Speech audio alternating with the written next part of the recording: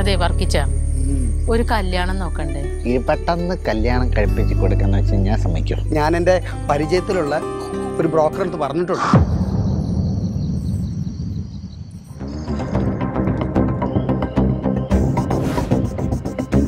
എങ്ങനെ വന്ന്?